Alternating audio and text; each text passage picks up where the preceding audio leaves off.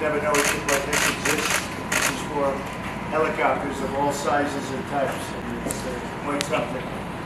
And it's done a tremendous service for Puerto Rico and for the U.S. Virgin Islands.